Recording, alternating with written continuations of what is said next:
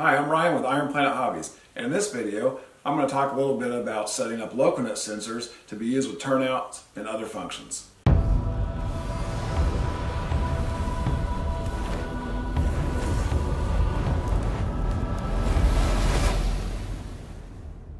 Okay, to get the Loconet sensors up and activated, we're using a product by Digikeijs. It's the DR4088 GND and this comes in several different versions. It comes in an S88 version and the Loconet version and it also comes in a start set.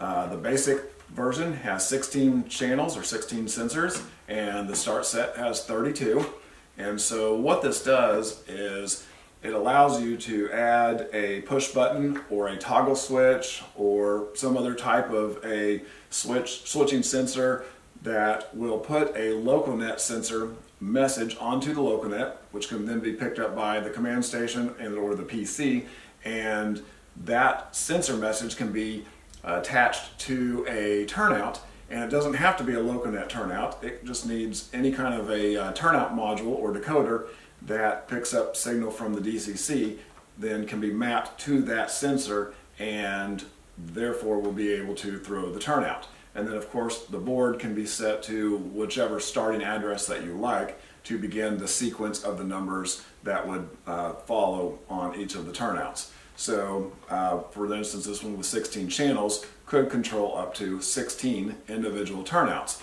And those can be done by um, simple things like a momentary push button. It could also be latching and again, uh, like a toggle switch.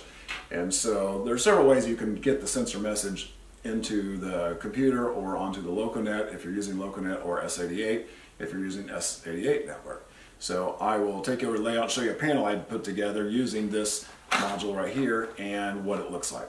All right, over here at the layout, um, in this corner back here, there are several turnouts and for an operator to reach those during an ops session is a little bit tricky because they are a little bit of a ways back in there. So what I did is put together uh, this panel right here and you can see the different uh, push buttons on there and the uh, corresponding track that they go to. And so each one of the push buttons is connected to a terminal strip on one of the legs of the push button, which is right behind here on the other side of the fascia. And then the other leg goes back to the DR4088 and so when a button is pushed, it makes the connection. Uh, it completes the, the circuit. And so therefore that puts the sensor onto the LocoNet. And so I also, not only do I have single uh, turnouts controlled, uh, right here is a uh, crossover track. And so by pushing the button, you can see in here the crossover throws, both turnouts at each end are connected to the same sensor. So uh, this whole section right here is again through the panel right here. Very easy to set up.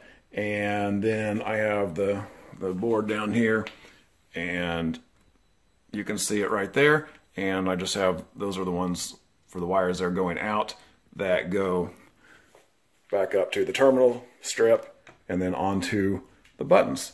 And so that's how easy it is to set up uh, Loconet sensors and very uh, economical, uh, affordable way of doing that. And if you'd like to see how those are set up inside the computer, inside JMRI, uh, please leave a comment below and we'll see if we can't do that for the next video. And as always, thanks for watching and please like and subscribe for more videos.